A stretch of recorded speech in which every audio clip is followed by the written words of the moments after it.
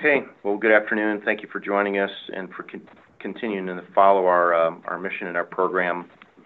Um, as you recall from yesterday, uh, we had a couple of challenges that we encountered, and that ultimately ended up in a uh, scrub um, of the first launch attempt for Artemis I. Uh, the day began with some weather challenges that delayed the start of tanking, and then once we got into the um, cryogenic loading of the vehicle, uh, we encountered um, a leak at the tail service mast umbilical on the hydrogen side at the 8-inch quick disconnect. Uh, the team managed to work its way through um, loading uh, the core stage and the upper stage in spite of that leak, and we got a fully loaded vehicle and went into the engine bleed demonstration and attempted to do the thermal conditioning the RS-25 engines, but we were unable to uh, get the engines within uh, the thermal conditions required to commit to launch.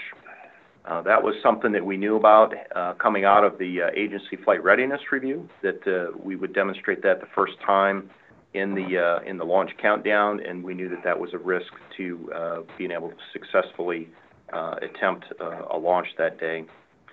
In combination with that, we also had a vent valve issue Uh, on the uh on the core stage, and it was at that point that the team decided to uh, knock off the uh, launch attempt for that day. Since that time, the team has rested, and along with thousands of others, our operations teams, our engineers, and you folks on the call that we're here to follow the mission, folks got a good night's sleep.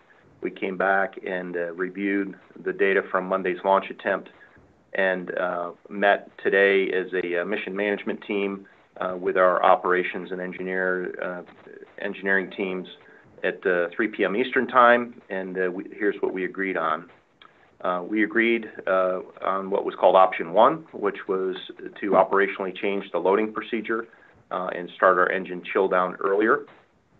We also agreed to do some work at the pad to um, address the leak that we saw at the hydrogen tail service mast umbilical, and we also agreed to move our launch date to Saturday, September the 3rd.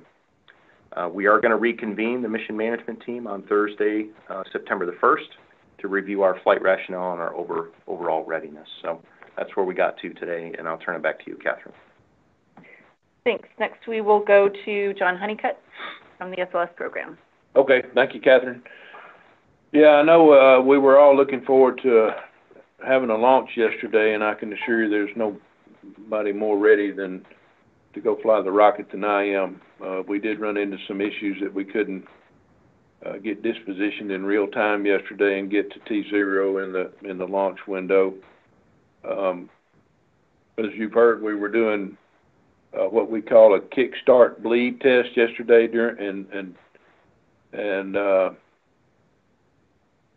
during the test that that we had planned on doing Um, during the previous wet dress.